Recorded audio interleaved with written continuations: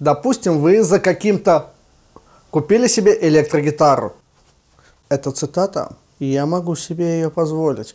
А если вы знаете, чья это цитата, напишите в комментариях под этим видео. Но недостаточно ее просто купить, принести домой и начать играть. Гитару нужно привести, так скажем, в боевое состояние. Нужно снять все пленочки, протянуть все болты, нужно смазать все, что нужно смазать, полностью отстроить мензуру, прогиб и высоту струн. Струны нужно обязательно поменять. Ну и не лишнее почистить гитару, потому что большая вероятность, что она висела на витрине и ее потрогало очень много рук. Итак, сходили мы в магазин, купили себе электрогитару, в данном случае это Fender Squire Affinity Deluxe. Ссылочку на эту гитару я оставлю в описании под этим видео. Также у меня есть уже полноценный обзор на эту гитару. Ссылку также оставлю в описании под этим видео. И в первую очередь нам нужно снять с этой гитары старые струны. Почему мы снимаем струны? Потому что, как я уже сказал, эта гитара могла полгода, год висеть в магазине, на ней уже много играли, то есть струны уже пора бы поменять. И плюс ко всему, это не ваши струны, на них играли посторонние люди, и, но их нужно поменять. Берем кусачки и перекусываем их в районе 12 лада. Да, кстати, вы видите вот здесь одеяло. Я его постелил для того, чтобы наша гитара не поцарапалась. После того, как струны сняли, обязательно их все сматываем в один клубок, чтобы, не дай бог, не потерять какую-нибудь струну и потом не найти ее у себя в ноге. Что дальше? Зачастую, после того, как мы снимаем струны, мы можем обнаружить тот факт, что наши колки, они плохо затянуты. Как правило, это так. Но на данной электрогитаре таких проблем нету. Но я все равно возьму ключ и попробую их слегка подтянуть.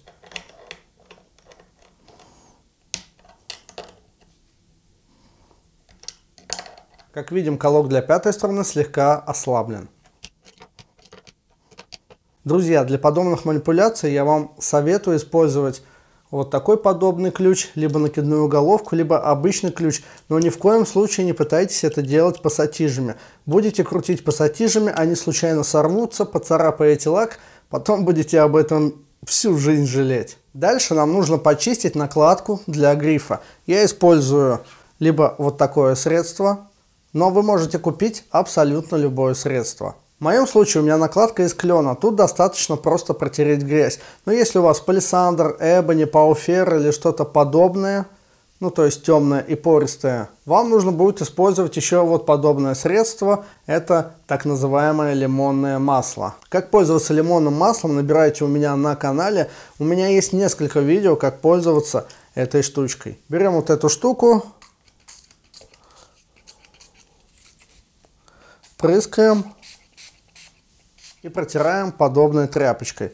Эту тряпку я купил, кстати, в магазине Strunky.ru. Она специально для электрогитары. И не забывайте про промокод Гитаромания, с ним вы получите 7% скидки при покупке в магазине Strunky.ru. Я же получаю 3%, что очень хорошо поддерживает меня материально. Ну, берем и просто протираем. Друзья, если ваши лады царапают руку по торцам, то есть вот здесь. Ни в коем случае не советую вам решать эту проблему самостоятельно. Лучше отнесите свою гитару мастеру, и он вам сделает это за какие-то небольшие деньги. Что нужно сделать далее? Нужно снять все лишние пленочки с гитары. Как вы видите, здесь на пигарде есть пленка. И так просто ее не снять. Со звукоснимателя пленки я уже снял, а вот с пигарда я пленки еще не снимал. Вот здесь я уже пытался снять пленку, но, как вы видите, пленка прижата шайбой. По всему периметру пленка прижата болтами. Плюс вот здесь, где стоит потенциометр, пленка также прижата шайбами. В первую очередь нам нужно снять вот эти ручки с потенциометров. Если вы просто потянули вверх и снять их не получается, не нужно ковырять их или пытаться подеть отверткой. Есть очень простой и действенный способ. Берете вот такую тряпочку, заводите под ручку потенциометра. Вот таким образом вокруг ее вот так вот обволакиваете и сдергиваете ручку. Далее опять берем подобный ключ и слегка откручиваем гайки. Их не нужно откручивать до конца. Я думаю, что достаточно всего лишь расслабить. Теперь нам надо расслабить все саморезы, которые держат пигард. Не открутить, а просто расслабить.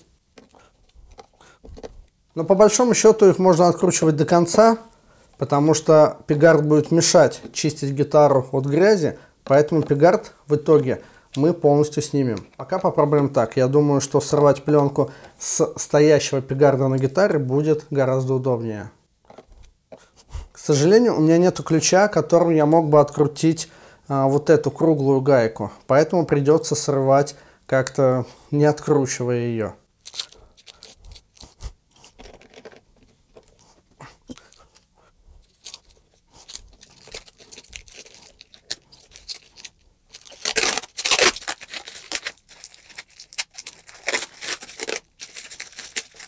Давайте попробуем снять пигар до конца. Самому жутко интересно посмотреть, что там внутри. Да и без него будет гораздо удобнее почистить гитару от грязи, как я говорил чуть ранее. Друзья, снимать такие вещи нужно как минимум аккуратно. Есть один провод, который идет сюда на джек, и один провод, который идет сюда на бридж.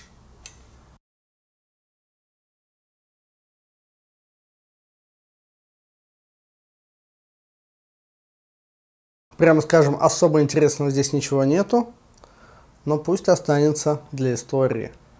Поставлю его обратно, чистить буду прямо с ним. Теперь затягиваем все эти болты и протянем все болты, которые есть в этой гитаре. Единственное, что когда вы будете протягивать болты и гайки, а, ну как-то соизмеряйте свое усилие, чтобы случайно не сломать, не сорвать и, в общем, чтобы не было никаких неприятностей. Электрогитара это не какой-то ответственный механизм. И здесь очень мало таких соединений, которые действительно нужно сильно затягивать. Наверное, кроме замков Флойд Роуза, мне пока ничего и не приходит на ум. На этой гитаре Флойд Роуза нету, и для всех начинающих гитаристов я советую первую гитару а, брать без Флойд Роуза. Попробуем также протянуть вот эти болты.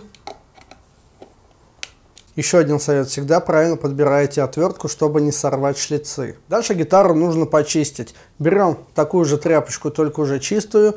Берем средство, любое средство для чистки электрогитары. В моем случае это Dunlop 65. Это гитар Polish and Cleaner. Просто наносим спрей. Можно на гитару, можно на тряпку. И начинаем растирать.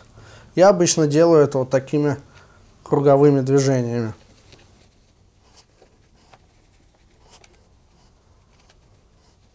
Крышки звукоснимателей тоже протираем. То же самое делаем и сзади. Можно попробовать вот так вот. Прямо сюда попшикать и растирать. Я сразу вижу, как в гитаре начинает отражаться моя люстра. Хорошо, что вы этого не видите. Болты, которые держат гриф, тоже не забывайте протянуть.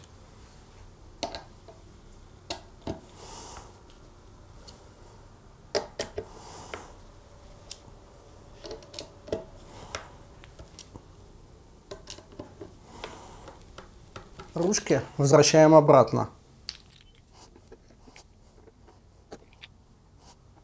Теперь мы готовы к тому, чтобы установить новые струны на электрогитару. У меня это будет Ernie Ball 1046. Если вы не знаете, как устанавливать струны, у меня есть такие видео, ищите. Перед тем, как ставить струны, не забудьте смазать порожек графитовой смазкой. Если у вас нет графитовой смазки, то можно взять обычный карандаш, он же у нас тоже графитовый, и покрасить карандашом эти прорези.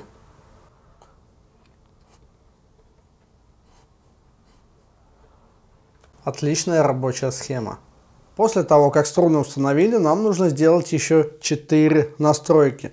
Первая настройка это высота струн над грифом. Вторая настройка это прогиб нашего грифа. Третья настройка это длина мензуры. И четвертая настройка это расстояние звукоснимателей от струн. Что такое высота струн над грифом? То есть у нас есть струны, есть лады грифа. То есть лады грифа это именно вот эти вот железные порожки.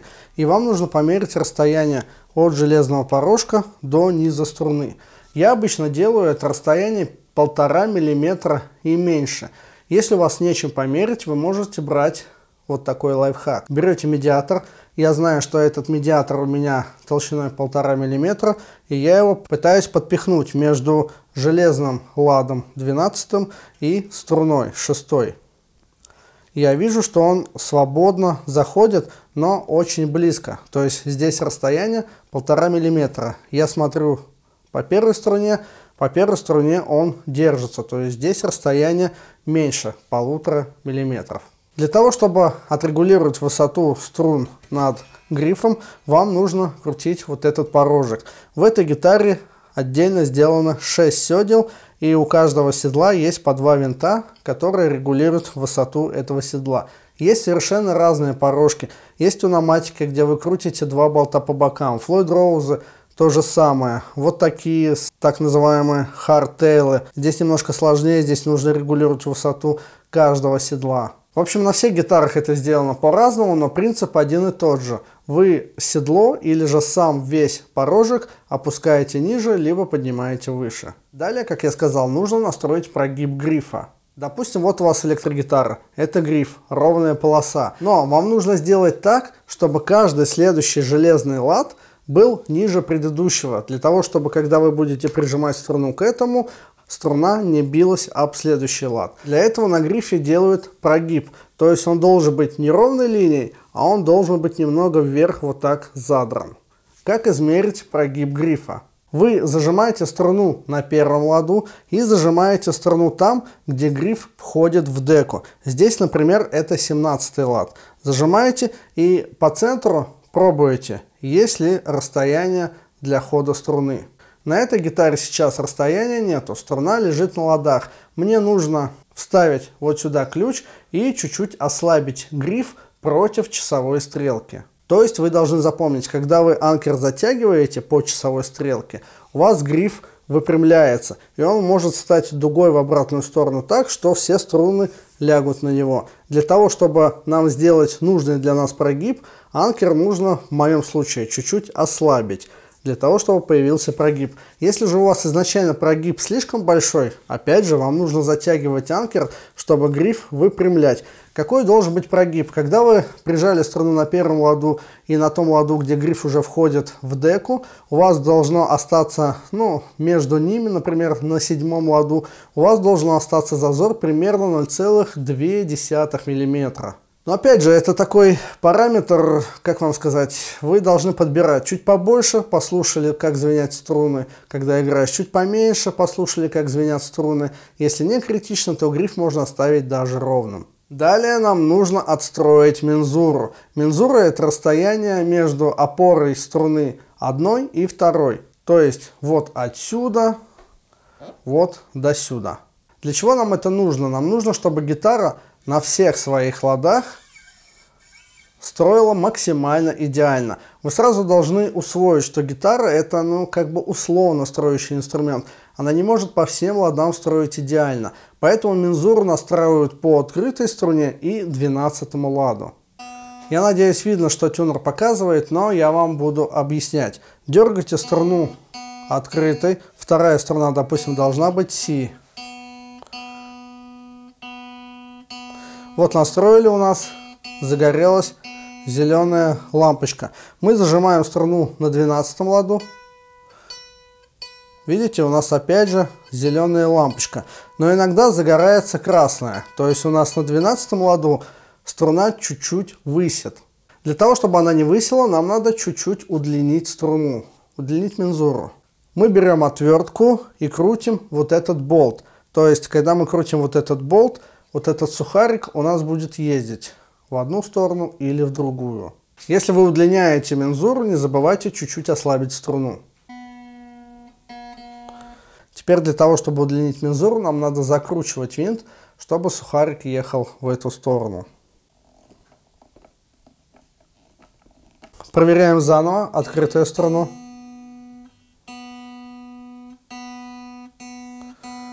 Зеленая лампочка и зажимаем на 12 ладу. Зеленая лампочка, то есть мензура у нас настроена именно для второй струны. И ту же самую операцию вам надо проделать для всех остальных струн. Теперь нам осталось настроить расстояние звукоснимателя от струн. То есть вот у нас звукосниматели, вот струны. Я люблю, когда сигнал выходной от звукоснимателя имеет максимальную мощность. Я расскажу, как я настраиваю, вы же можете делать это по-своему. Я прижимаю струну на 24 ладу и поднимаю этот звукосниматель до того момента, как расстояние от струны до звукоснимателя будет примерно 2 мм. С одной стороны и с другой соответственно. С этим звукоснимателем я проделываю то же самое. Для того, чтобы опускать или поднимать звукосниматель, вам нужно крутить вот эти регулировочные винты. Когда вы винты закручиваете, звукосниматель поднимается, когда винты откручиваете, звукосниматель опускается. Может получиться так, что нековый звукосниматель звучит громче, чем бриджевый. Тогда нековый звукосниматель нужно будет слегка утопить в корпус. Если же при такой настройке у вас появятся волчки, то есть звук будет двоиться, когда вы зажимаете одну ноту, я думаю, вы знаете, что такое волчки. Если же звук будет как-то захлебываться, вам что-то не понравится, это означает, что магниты слишком близко эм, находятся к струнам, и сами струны начинают уже заводиться от магнита. И в этом случае нужно будет звукосниматель чуть-чуть опустить ниже. Я не говорю, что его нужно будет утопить, но буквально на миллиметр опустить ниже и попробовать поиграть еще раз. Вот и все, такие несложные манипуляции. Заняло у меня это примерно 40-45 минут с учетом того, что я еще снимаю для вас видео. Вы, конечно, если это делаете впервые, у вас займет чуть-чуть больше времени. Напомню, что в качестве примера у нас была электрогитара Squire Affinity Deluxe. Отличная гитара, это модель 21 года. У меня есть полноценный обзор на эту гитару, ссылочку оставлю в описании под этим видео. Ссылки на гитару тоже оставлю в описании под этим видео. Если вы себе ищете телекастер на хамбакерах, это один из лучших вариантов, так скажем, недорогих. Друзья, если вам понравилось это видео, обязательно ставьте лайки, подписывайтесь на канал, нас ждет много всего интересного. На канале уже около 300, наверное, видео, которые посвящены электрогитарам, а будет еще больше. Если вы не подписаны на канал, я уже сказал, да?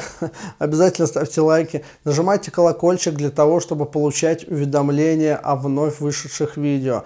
Не забывайте про промокод GuitarMania. Благодаря ему вы получите скидку 7% при покупке в магазине Strunky.ru. Я же получу 3% от вашей сделки, и это очень круто поддержит канал материально. Не забывайте о том, что по моему промокоду, который находится в описании под этим видео, вы сможете купить все продукты от компании Fender, ну, в частности, Esquire тоже, со скидочкой 5%. Все подробности в описании. Ну что ж, а меня зовут Сергей, и это был канал Гитара Мания. Всем позитивного настроения. До встречи на ютубе.